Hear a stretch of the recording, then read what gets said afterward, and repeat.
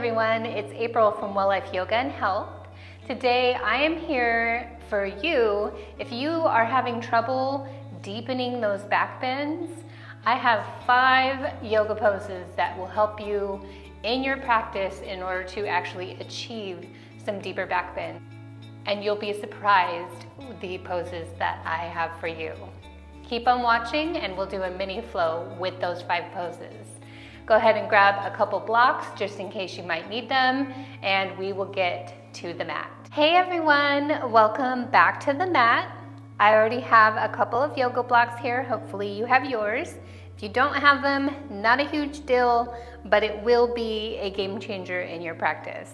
So let's go ahead and get started. The first pose, pose number one that I wanna show you is puppy pose. So you go ahead and start on your hands and your knees. So hands or wrists directly under the shoulders. Fingers are always wide. This is your foundation for every single pose whenever your hands are on the mat. So fingertips wide into a high five shape. Knees directly under the hips. So starting in this neutral spine here, we'll go ahead and walk the arms forward, finding our puppy pose, keeping those hips directly over the knees. Bring the heart towards the earth, forehead towards the mat. And this is the first pose.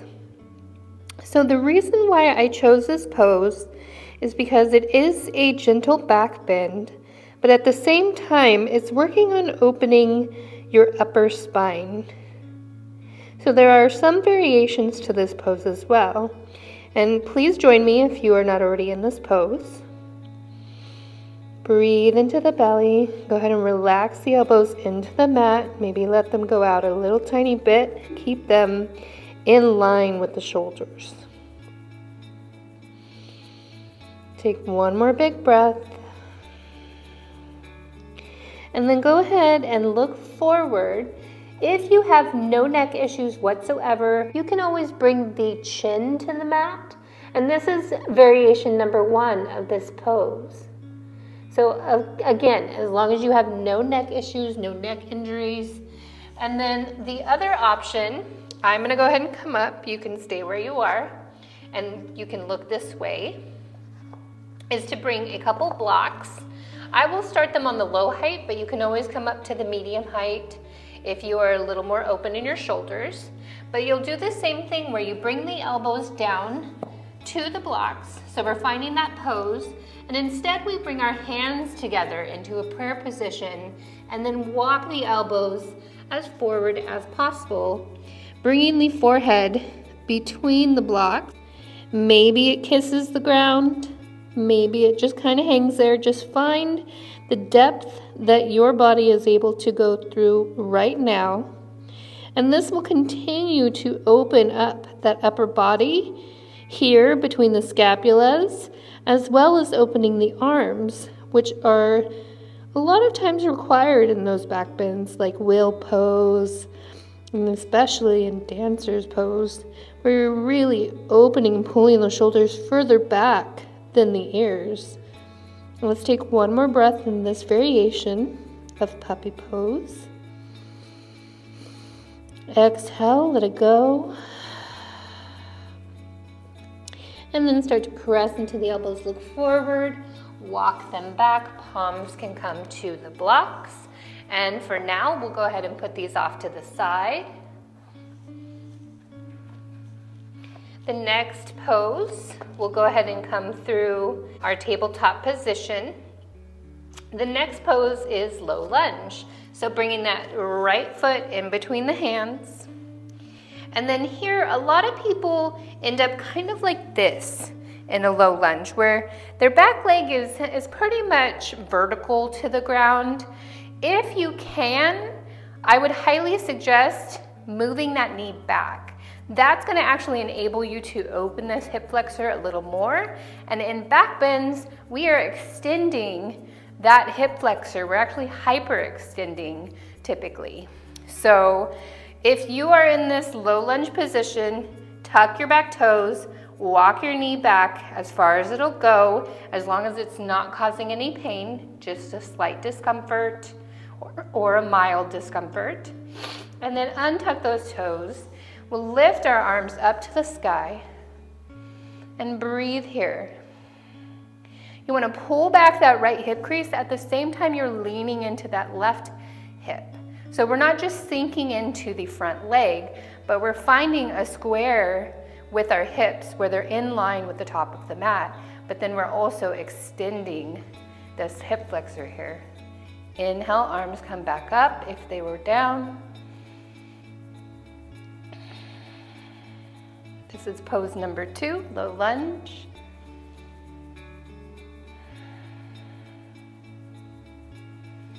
And then go ahead and plant the palms. For this next pose, which is called Twisted Monkey, we'll go ahead and place the palm either right next to our foot, depends on how open our hips are at this time with this back hip flexor, or we will place it a little bit in front of the foot.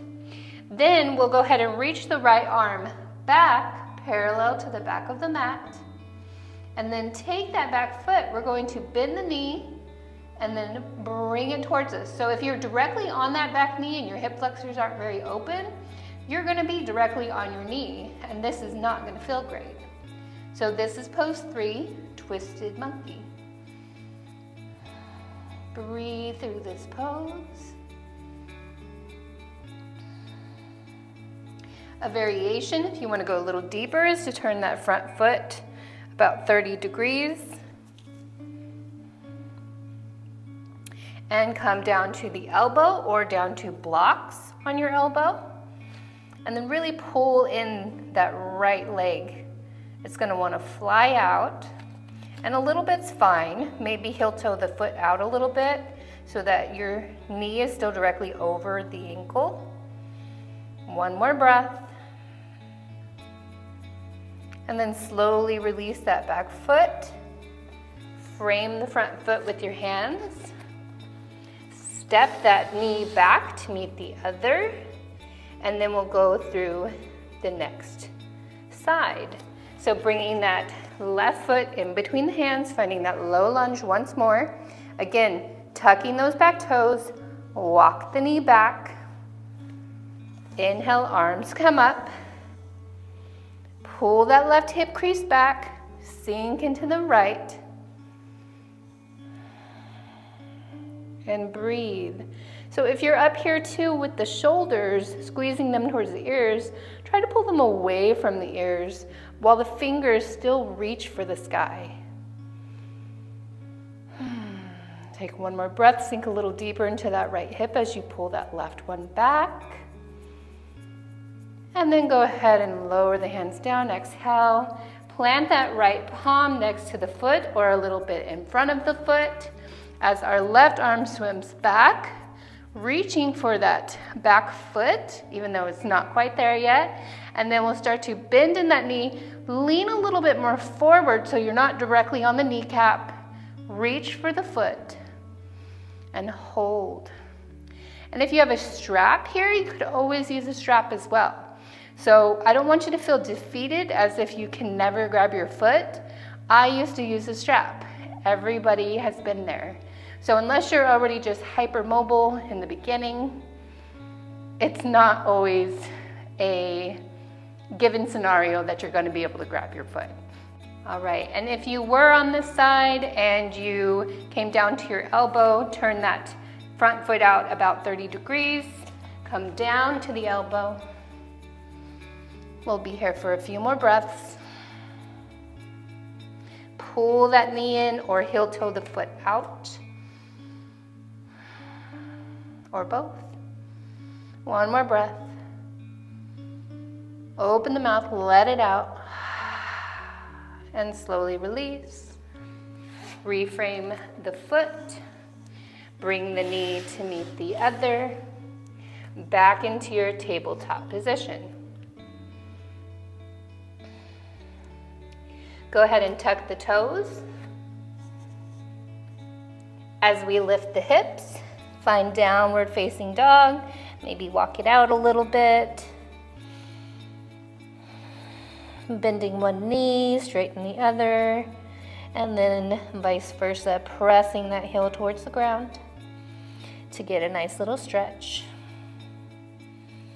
And then coming to a stillness, bring the head between the shoulders. This is another pose that will actually help you, but this is not one of the poses today, but I highly suggest doing downward facing dog every day. One more breath.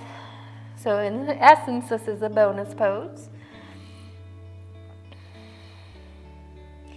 And then we'll go ahead and look forward. Press into those palms so you're really finding a lot of sturdiness here. And then we're going to bend the knees towards the belly, come onto the toes, look forward, and we're gonna hop through into a boat pose. Squeeze the legs together. Pose number four to help you deepen those back bends. Core strength is required in back bends. So you will need this to actually achieve a deeper back bend. Keep on breathing. One more breath, squeeze the legs together, and then lower the feet. Hug the knees.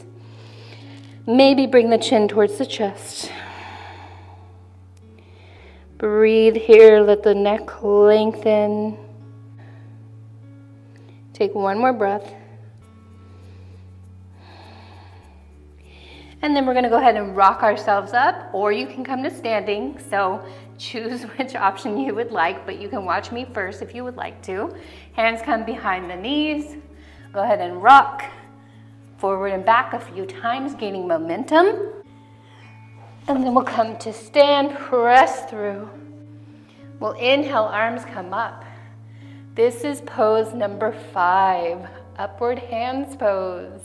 We don't think about it a whole lot, but if you press into those feet, reach the fingertips for the sky, pull the shoulders back down, you will find that lengthening in your spine that you need while you are doing a back bend.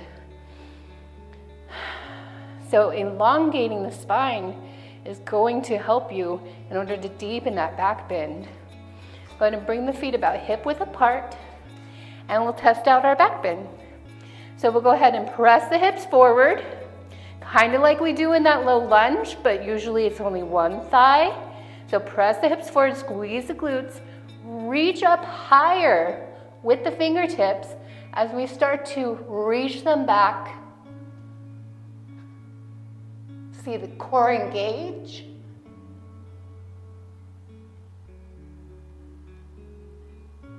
And then come back. Take a deep breath. Let's do two more. Inhale. Exhale. Last one. Inhale. And exhale, let it out. All right. Taking one more breath here. Not a traditional practice today, and that's okay. Set your intention for your back bends. Set the intention to lengthen the spine. The intention to lift the upper ribs towards the ceiling or to expand in that area when you are in a back bend to press the hips forward, to squeeze the glutes. Noticing that all these body parts enable you to move into this position.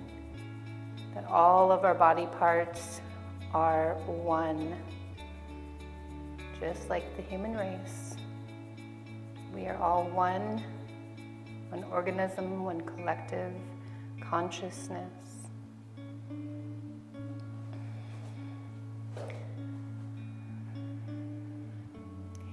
And if you had your eyes closed, you can start to open them up.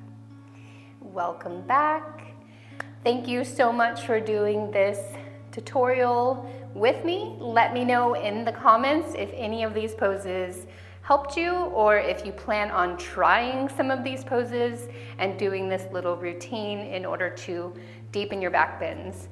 And if you are already in a deep back bend practice or you are right on the brink of a deep back bend practice, then I actually have a great video for you. It is a flow for deep back bends, specifically for king pigeon pose.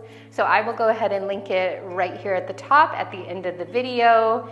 And I hope to see you all soon. Again, if you have any feedback, I am open to suggestions. I am open to whatever you got going on. Also, a note, I wanted to let everybody know at the beginning of 2023, I am going to be releasing da, da, da, a online video membership. So I'm getting some series recorded for you at the moment as we speak and I'm going to have those ready for you and I will share the details in the upcoming next few weeks. So stay tuned for that. Follow me, subscribe, and I will see you all later. Bye. Peace out.